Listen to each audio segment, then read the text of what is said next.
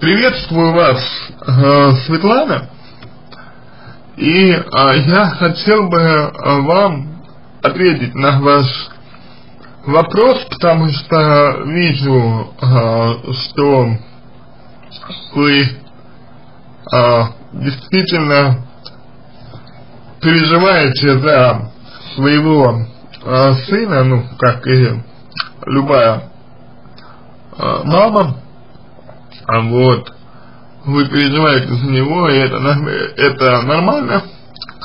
А, я прошу, чтобы вы постарались а, понять некоторые моменты. Во-первых, ваш э, сын уже достаточно взрослый. Ваш э, сын уже очень взрослый. Ему целых 23 года. В этом возрасте человек сам э, должен и способен принимать решения за свою жизнь. Далее, э, я полагаю, что то, что вы задаете вопрос а, по поводу него, как бы вот по поводу своего сына вы задаете вопрос, а, хотя в действительности, ну, вам уже сказали, что это он должен а, спрашивать нас об этом, а не вы спрашивать у нас а, о нем.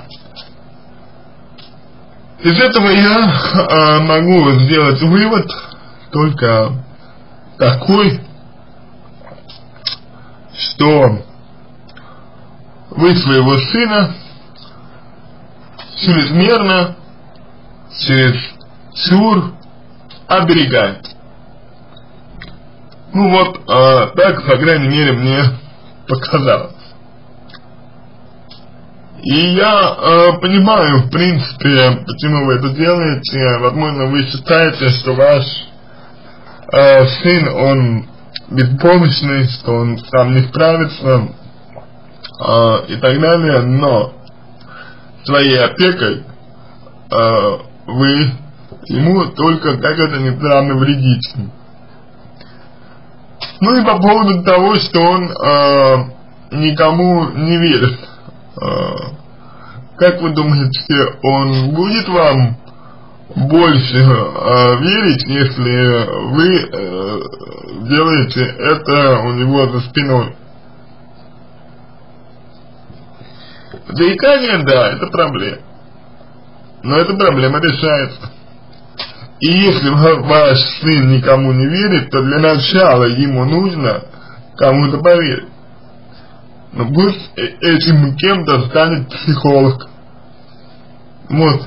Эм, посоветуйте своему сыну э, прийти к нам на сайт, чтобы он сам задал вопрос, чтобы он сам получил ответ, чтобы он сам выбрал себе психолога, с которым он эм, разобрал бы все свои э, проблемы серьезные и так далее. Ну, например, вот э, у меня позже есть определен, определенные дефекты речи, но мне это не мешает работать. Вот. Давайте так. Э, вы сейчас просто постарайтесь успокоиться и спросить у своего сына, чего он хочет. Просто вот, чего, чего он хочет. И почему никому не, не верит. Можете дать ему э, послушать мою запись.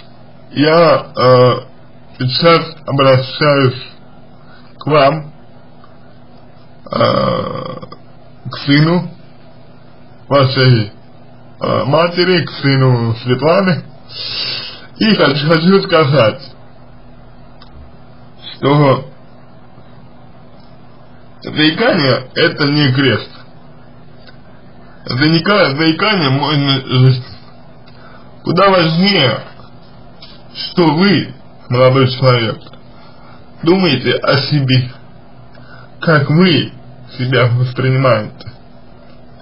И если вы воспринимаете себя плохо, если вы воспринимаете себя негативно, если вы позиционируете себя как неполноценного, из-за того, что заикаетесь как э, урода, из-за того, что вы заикаетесь как не таким, как все, из-за того, что вы заикаетесь, то проблема здесь не в заикании.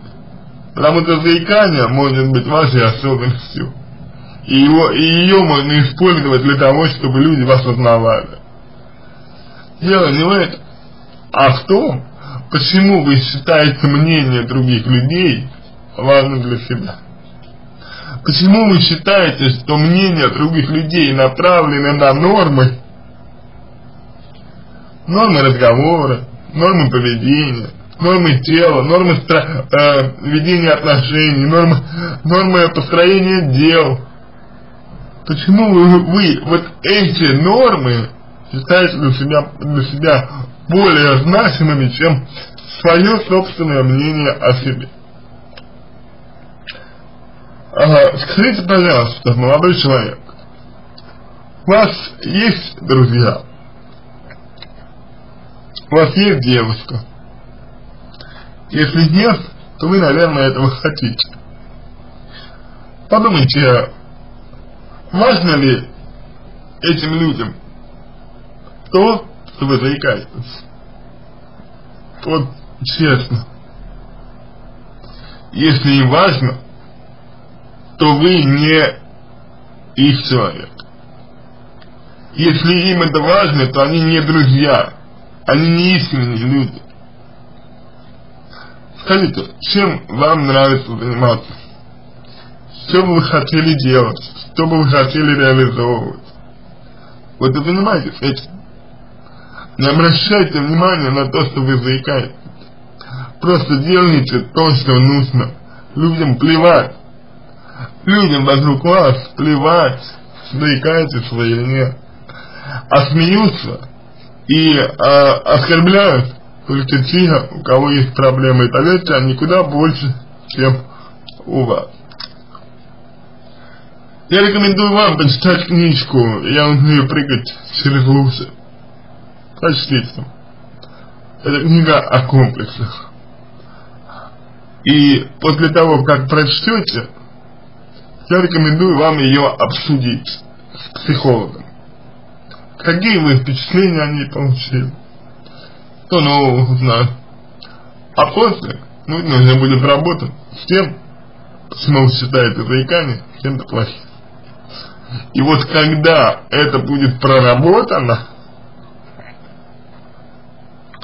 тогда вы сможете избавиться от него. От него. Либо э, медицинскими средствами, либо психологическими. Ну, психотерапевтическими точнее.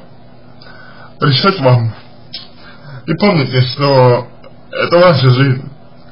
И что э, вы ее сейчас проживаете впустую.